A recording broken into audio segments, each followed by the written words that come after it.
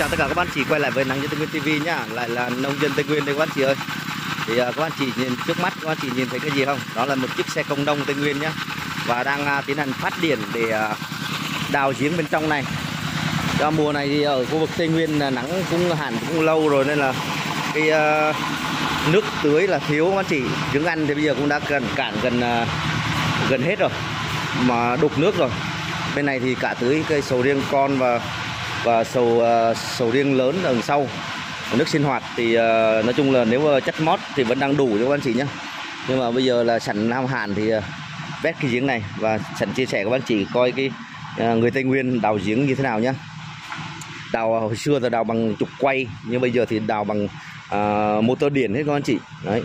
Những cái sầu riêng như này thì bị uh, uh, thiếu nước thì nó sẽ chậm phát triển nhá. Đấy dây điện thì uh, bằng nổ bằng máy ba pha các anh chị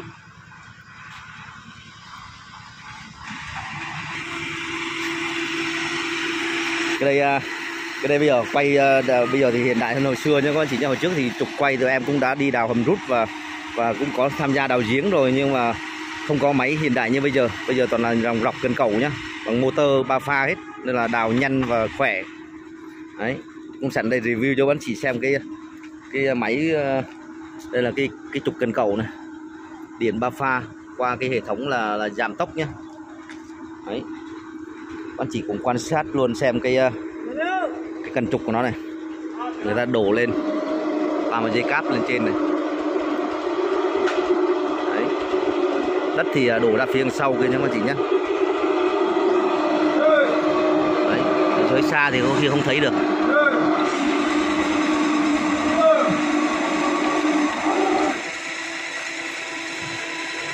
Toàn tiếng máy để xa nhưng tiếng ồn hơi ồn nhé.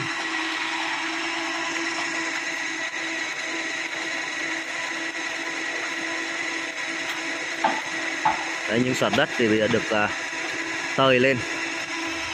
Cực kỳ nhanh luôn.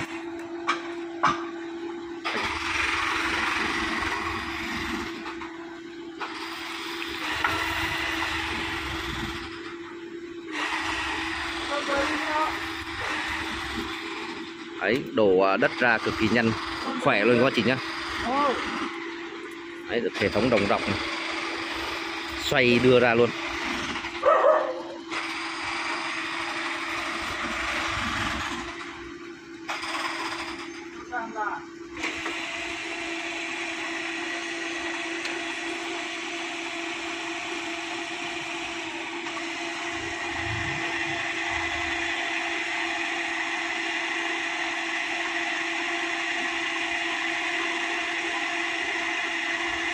Đấy, thả xuống thì cũng nhẹ nhàng luôn nha các bác chị lên cũng nhanh chóng mà xuống cũng dễ dàng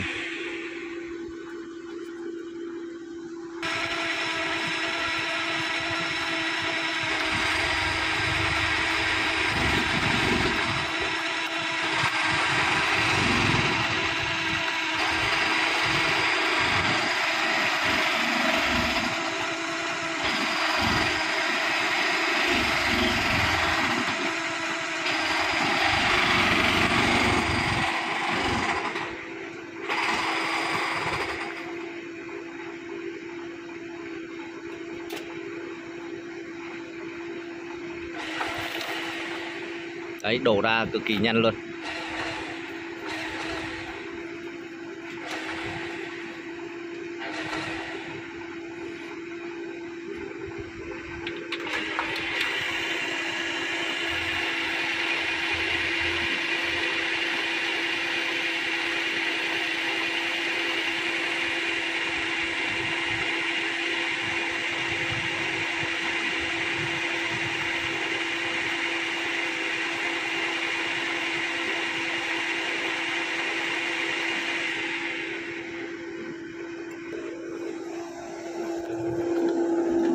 Bên này họ làm thêm hệ thống à, cái đây là quạt thổi xuống để à, làm à, thông đưa khí xuống dưới nha các anh chị. Đưa khí oxy ở trên này xuống để thở cho nó dễ nhá.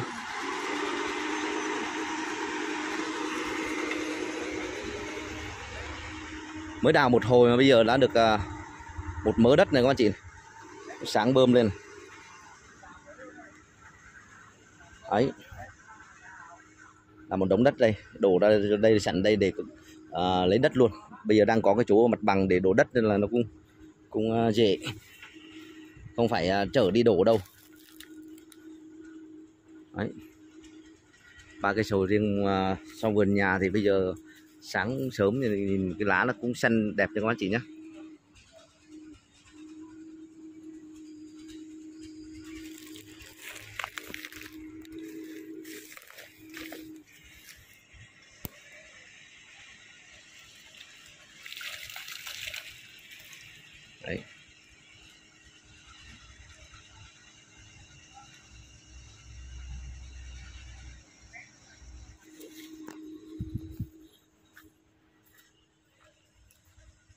hôm qua thì trời nó cũng động mưa nhưng mà rốt cuộc là cũng không mưa nổi. Đây, cái sầu riêng này thì uh, chiều hôm qua em đã tiến hành uh, xịt cả mấy cái sầu riêng sau vườn nhà đấy các anh chị.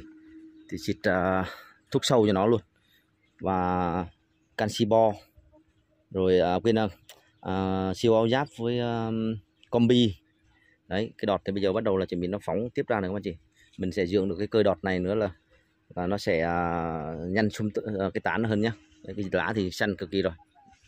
Đấy. vừa rồi nó vì vàng nhưng mà bây giờ thì nó đã phục hồi lại rồi.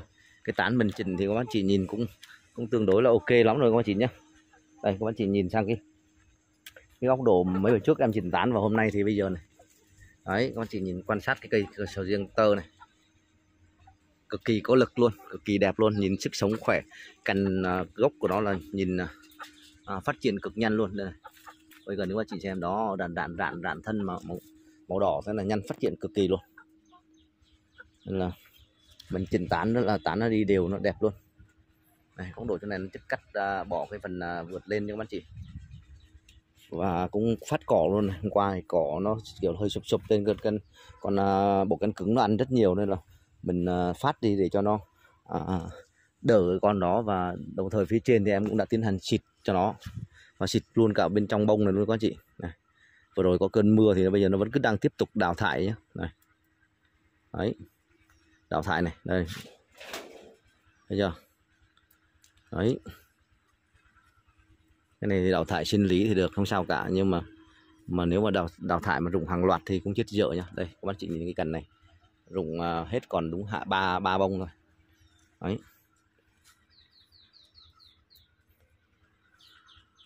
Đào thải sinh lý là một phần này. Rồi à, một phần đó là do nói rồi đấy thấy chưa? Đó rụng. Một phần nữa là do do à, mấy cơn mưa. À, một cơn mưa vừa rồi nha các anh chị.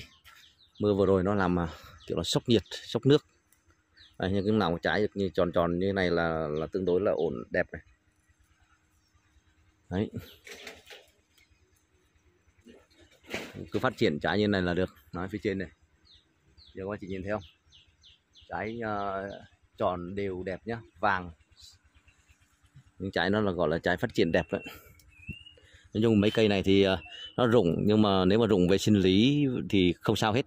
Tại vì cái số lượng trái đang còn cũng rất nhiều nhá. Nhưng mà chỉ sợ là sợ sụng sốc nhiệt là nó đi cho hàng loạt luôn. Thì uh, mới mới sợ thôi. Đây phải này ra sau này nhưng mà nó vẫn chạy trái rất nhanh này. Đấy. sẵn uh, cập nhật à, uh, có ban chỉ xem cái đào giếng của người Tây Nguyên. Đấy, đào hồi xưa là bằng tay quay bằng tay bây giờ là bằng máy móc nên là nhanh. Một ngày là họ có thể đào được mấy mét rồi. Đấy, đụng này. Nên là họ đào nhanh và à, khỏe sức khỏe khỏe hơn nhiều. Ở dưới là cũng cũng có hệ thống là đào bằng bằng à, gặng motor à, bằng thủy lực luôn nha các anh chị nhé là không phải dùng sức người mấy luôn chỉ có dùng à, À, người để hỗ trợ nó đẩy à, ấy thôi và xúc xúc xúc đất đưa lên thôi. Xúc đất vào sọt còn lại là máy nó sẽ chịu trách nhiệm đưa đất lên. Người trên mang đi đổ đấy. Đấy, cái này hiện tại bây giờ thì cứ tạm thời vẫn đang thấy ổn. Chảy trái cũng rất đẹp. Đấy. cỏ thì mình phát sấp sấp sấp này đi để cho nó uh, đỡ cái con kia nó tấn công thôi nhưng mà để lớp cỏ dưới để cho nó nó làm mát cái bộ rễ khi rễ ăn ra ngoài nha các anh chị. Còn bên này hôm qua cũng là tiến hành về vườn là cào cái bầy à, rác bầy hoa rụng như này ra bên ngoài này luôn. Để cho nó phủ một lớp à, bên phía ngoài này để cho nó mát cái bộ rễ. Đấy các chị nhìn xung quanh là, em đều à, bỏ cái bầy cỏ là là, là, là ra ngoài nó hết là mát. Cái này thì vừa rồi thì nó đã thiếu nó thiếu nước nó teo bông nhá. Bây giờ thì mình tưới nước đủ vào thì bây giờ các bạn chị nhìn là nó không không còn cái teo bông nữa. Nó bông nó đã mập ra rồi và trái bắt đầu là có hiện tượng chảy trái à, tròn tròn hơn rồi. Nhưng mà cái cây này nó thiếu nước thì các bạn chị để ý nhá. Thiếu nước cái trái lúc nào nó ngắn này nó ngắn tụt tụt tụt lại. Và nó nó nó kiểu là trái nó không được uh, ú dài như như mấy thằng phía trước kia đủ nước. Đấy. Đây là cái vấn đề nước là quan trọng. Mình uh, lơ là mà mình không uh, chú tâm đến một cái là, là là nó sẽ ảnh hưởng đến cái phần trái của mình nhá. À, nhưng như trái bên này là chảy là đẹp rồi. Đó như trái đó là chảy thì cực kỳ đẹp rồi. Bên này cũng thế. Đó, như trái như thế chảy là đẹp. Nhưng nếu mà mình mà để à, mất nước một thời gian nữa thì à, chắc chắn rằng nó sẽ nó sẽ à, teo luôn rụng luôn. Nhưng bây giờ như trong vườn như này là ba cây nói chung là cũng à, hiện tại là vẫn nghe tạm ổn nhá đấy là vườn của bác chị nghe không thấy tiếng chim hót tiếng ờ, à, các loại chim nó hú nó hót đấy cực kỳ thú vị. Đây hôm qua cũng đã tiến hành cào nhưng mà hôm nay nó quá chị nhìn thấy dưới gốc nó rụng nhá. Cào xuống em vất xuống hố rác này. Ở đây là cái là có cái hố rác này thì bao nhiêu rác mình cào xuống đây cái mình vất đây. Thứ nhất là cái hố rác này để cho nó cái ờ, vét một cái mương nó cho các chị. Cây nào cũng có vét một cái mương nó chảy xuống đây. Nó sẽ thoát nước uh, cho cho mình và đồng thời là mình à, có những cái lượng rác nào mình sẽ gom vào đây mình bỏ vứt đây. Thì sau này cái rác này nó mục thì cái rễ nó sẽ bám xuống là là một chất hữu cơ để cho cái cây sầu riêng nó phát triển. Đấy. đây trên này có cái trồng sầu riêng phát triển nhìn cực đẹp luôn. Thấy không?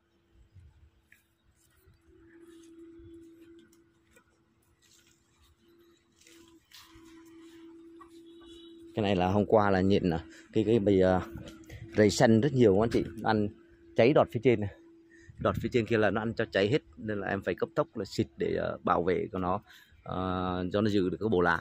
Thì tại vì bộ lá vừa rồi mình đã giữ được bộ lá thì nó cũng tương đối ờ, dạ, đẹp. Thì nó nuôi thêm được cái bộ lá cho cái bộ trái bên trong nhá. Bộ lá bị suy cho nếu mà bộ lá không suy thì cái cây mấy cây này thì nuôi trái cũng tương đối là ổn luôn. Nhưng mà bộ suy nhưng mà bây giờ mình đã kịp thời kiếm được thêm bộ lá thì nó cũng đỡ. Đấy.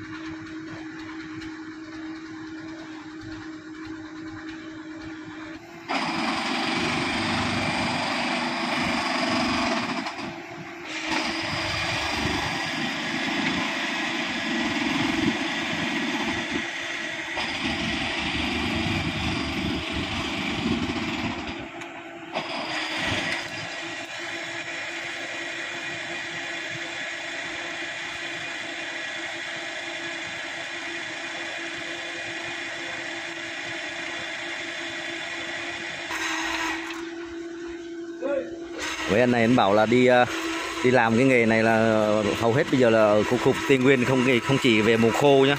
Mùa ờ, mưa, mùa gì cũng là làm quanh năm suốt tháng, đào hầm rút xong rồi là đào hết. Nói chung là chơi tất. Ấy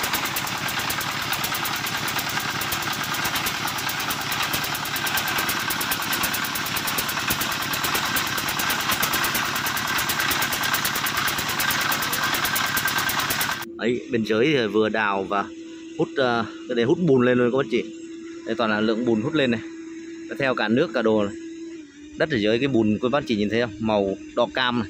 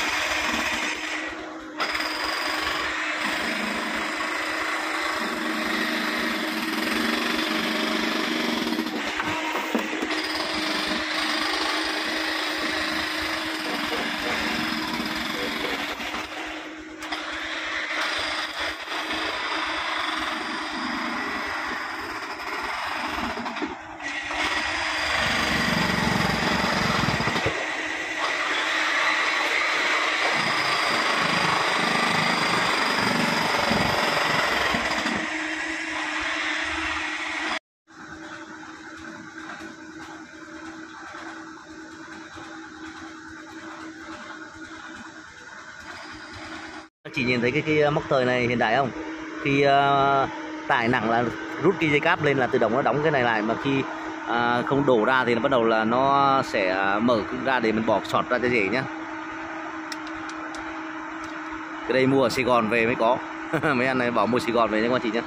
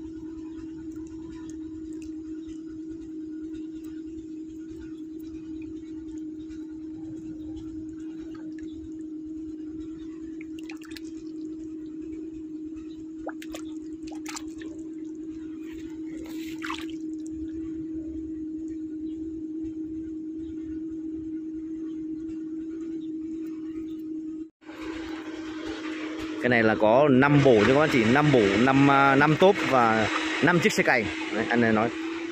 Nhưng bình quân là một ngày những cái giếng sâu sâu như này là 20 mét là phải đào được uh, cỡ tầm 4 mét anh nè 4 mét. Còn anh này thì có thâm niên là cũng tương đối lâu rồi. Nguyên anh nói bao nhiêu năm á? Hai mươi mấy à hai mươi mấy rồi á hai mươi mấy năm rồi hai mươi mấy năm làm uh, cái nghề này. Làm từ cái thời mà uh, đang đào bằng bằng bằng bằng quay bằng tay nha các bạn chị thời xưa đồng tiền nó đang còn giá trị thấp mà bây giờ đồng tiền bây giờ giá trị nó cao rồi nhưng mà à, cái mức tiền nó cao nhưng mà mà đồng tiền mất giá. Đấy, năm các bạn chỉ biết là mùa tây nguyên là thiếu nước cỡ nào. Cái khu vực này là, là năm cái máy này hoạt động liên tục không có ngày nào nghỉ. Tốp này rồi tốp các thay phiên nhau. Đấy, để phục vụ cho những cái sầu riêng như này. Sầu riêng con này để bắt đầu là đi đi mang đi trồng này rồi à, sầu riêng à, bắt đầu sổ nhỉ và thời kỳ chạy trái. Đấy, nếu không có nước là chết hết.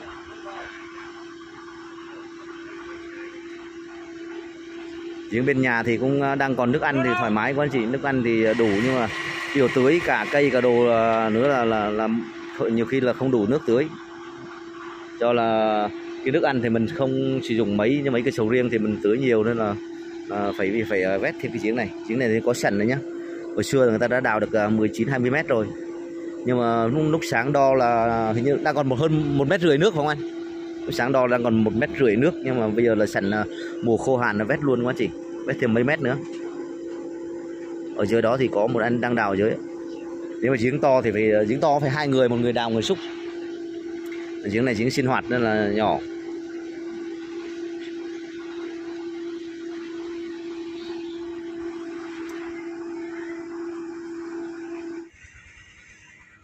Đấy, cái à, cái lượng đất này từ sáng giờ thì chắc phải được à, hơn mét rồi các anh chị.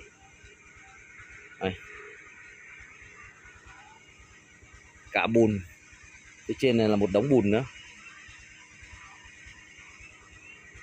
Về bắt cái ống này nó cho nó ra ngoài đây để à, nứt cái nước bùn nó. Nó chảy về phía này các anh chị. Đấy, hút cả bùn lên luôn này.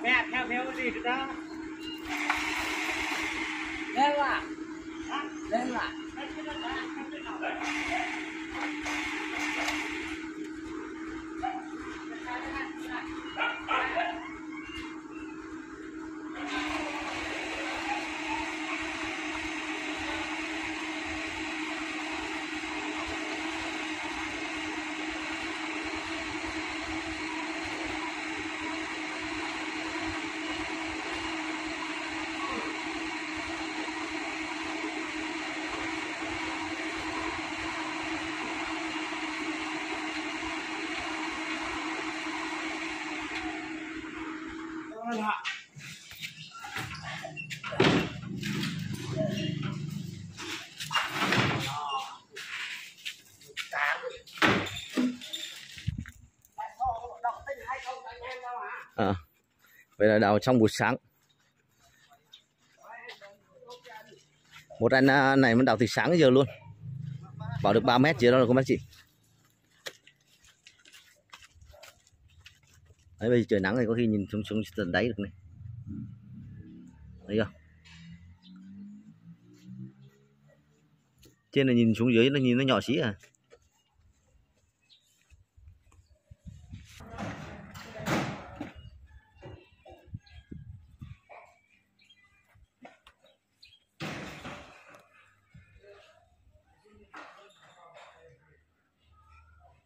Để đào xong mấy anh em thả thử đo thì coi lại được bao nhiêu mét em anh chị. Sáng đo từ dưới đáy lên tới miệng đây là 20 mét 20 mét 60 không em? 20 mét 60 coi bây giờ sáng giờ đào được bao nhiêu mét? Bên em đoán là 3 mét.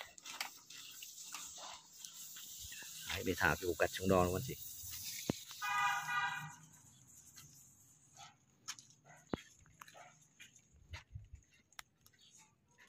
Ở dưới đó mở rộng bao nhiêu á?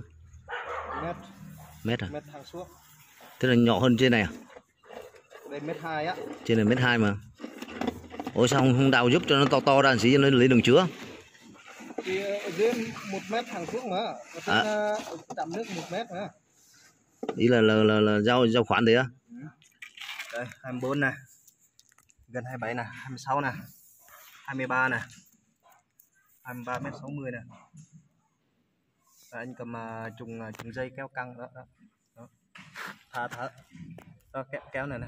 Rồi. Kéo đấy kéo đấy kéo lên à không ý là kéo cầm cầm nó cầm giác mà. Rồi. Đây là mấy 60 nè. đây là mấy mấy mét đây? 20 bây giờ 23 mét 60 nè. Hôm nay ba mét sáu mươi. Riêng là 20 mét 60 ba mét rồi sao căn chính xác thế? À căn theo cái cái thước thước thước, thước uh, cáp à thì đào đào xong là đo là đủ đủ mét là nghỉ thôi. À tức là anh em thả xuống dây đo tự, đo rồi ạ. Tức là được 3 mét buổi sáng nay mà mấy anh em ờ, ba người. Nhân lực ba người, một mình anh này là là đào chính nhá. Còn hai à, anh ở trên là một anh lái máy, một anh đẩy xe. Đào xong 3 mét một buổi sáng. Cái máy móc đào khỏe, hồi xưa mà đào bằng tay thì chắc chắc một ngày chắc ba, chắc chưa được 3 mét đâu.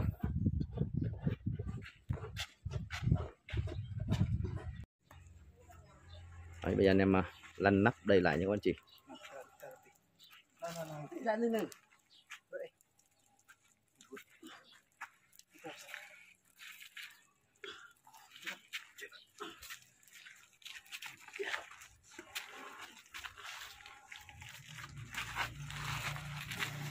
Ngàn ngàn Đây, mở bánh này. Con này Con này, con này là mở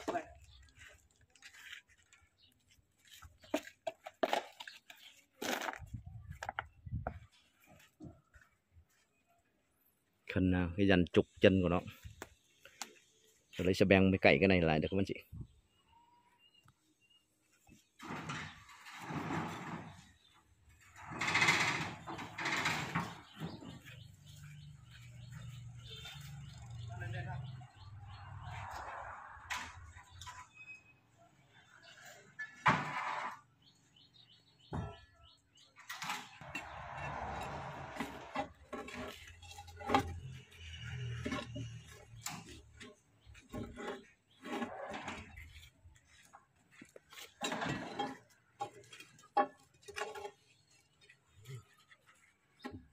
Đấy, một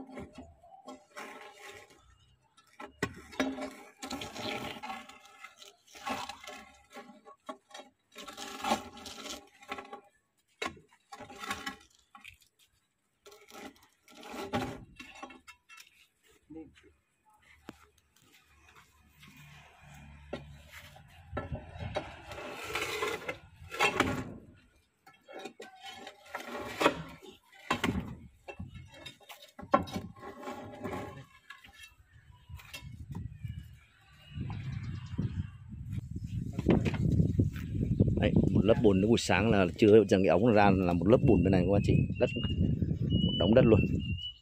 Đây. Cái này đi xuống tầng hơi sâu hơn xí là nhìn cái đất nó sang cái màu chuyện màu hơi hơi trắng trắng một xí nhá. Phía trên này là đất là màu đỏ này đất đỏ này. Xuống dưới là sang tầng đất khác này. mà đá đất nó cục cục nhá. Đấy, đóng viên cục cục cục các anh chị. Hãy về anh em là đã đào xong buổi buổi sáng nha các anh chị nhá sẵn đây cũng chia sẻ cho các anh chị cùng xem giải trí về cái ờ, đào giếng của người Tây Nguyên. Đấy, hồi xưa và bây giờ khác nhau nào? Còn đất là các anh chị ở ở nhất là ở nước ngoài thì không biết uh, người Việt Nam đào giếng như thế nào. Thì cũng sẵn đây chia sẻ với các anh chị một uh, tập phim nhá. Rất mong sự ủng hộ của tất cả các anh chị. Xin chào và hẹn gặp lại các anh chị ở các tập tiếp theo nhé